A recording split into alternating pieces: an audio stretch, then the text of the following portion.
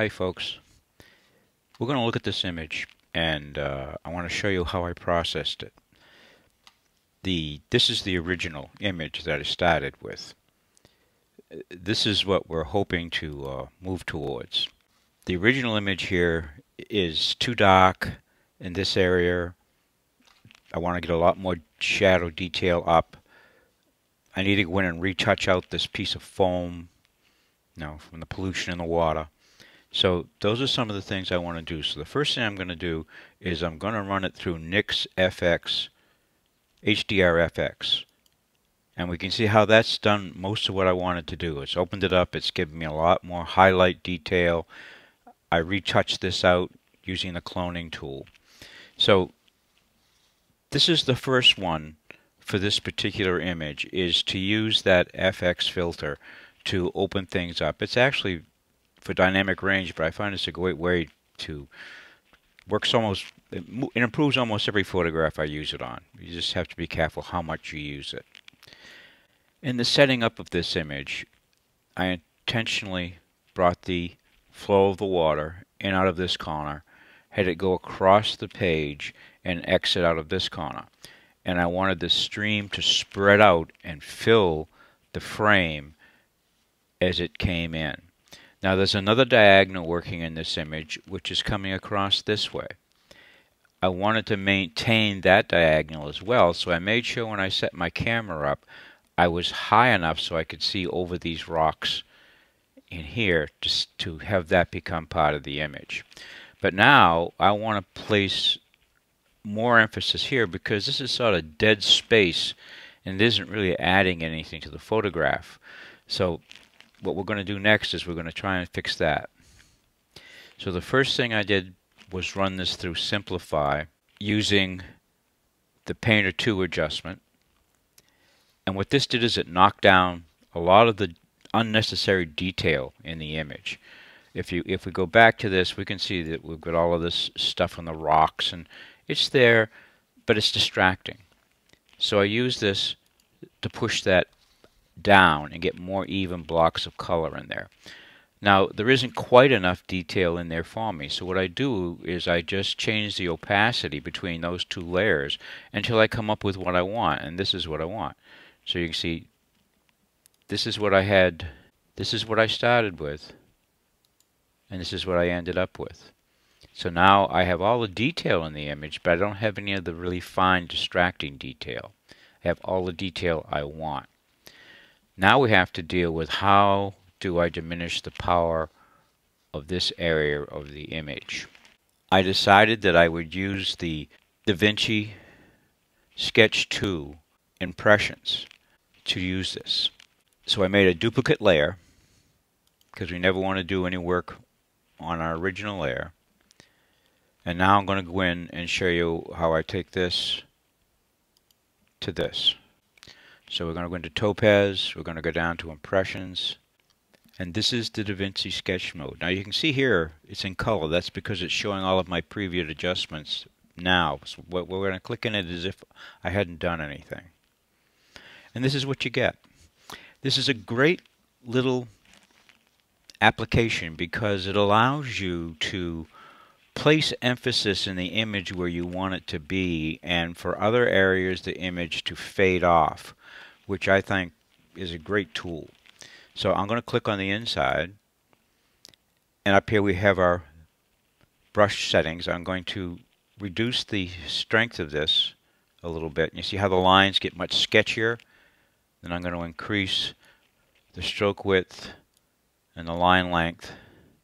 And then I'm going to come back up here and play with this. I like doing this adjustment before I take it back to color because it's actually easier to see what's happening in black and white. So I got that pretty much where I want it to be. Now I'm going to scroll down. And right here, we well, we'll come back up to that. We'll do the color first. I've got this set up now so that I have all three of these visible. I'm going to take, the reason why it's black and white is that the saturation layer has been put all the way down. All we have to do is bring that back up to reveal the color.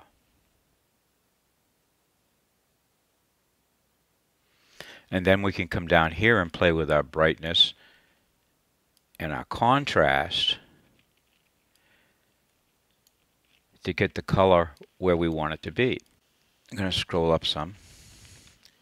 On the vignette here, we can control where this area of visibility is in the picture by just picking this up and moving it. So I can bring it closer to the, where I want the information to be revealed. And now we can see the other area falls off. Now we control the size of that by adjusting these sliders.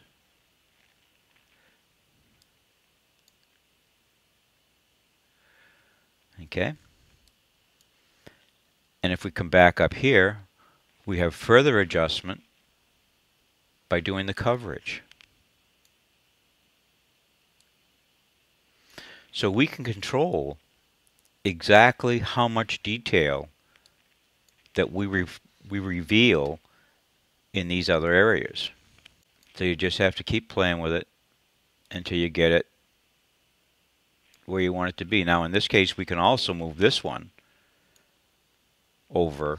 So again, now you can see how much of it fades off in the other area. So you can control where the center of your, your blending area starts from by moving that. Now I'm going to go back up and take my stroke width down a little bit because I want a real sketchy look. Now you can see I will get a sketchy look. Now, underpainting is really important when you use this particular mode. If you come all the way down to the bottom here and you go to background, you can change what the underpainting is. And that will make the image much more dynamic when you use a warmer color such as orange. now that I've seen that, I think I want to have a little bit more coverage. So I'm going to go back up to coverage, open that up some more.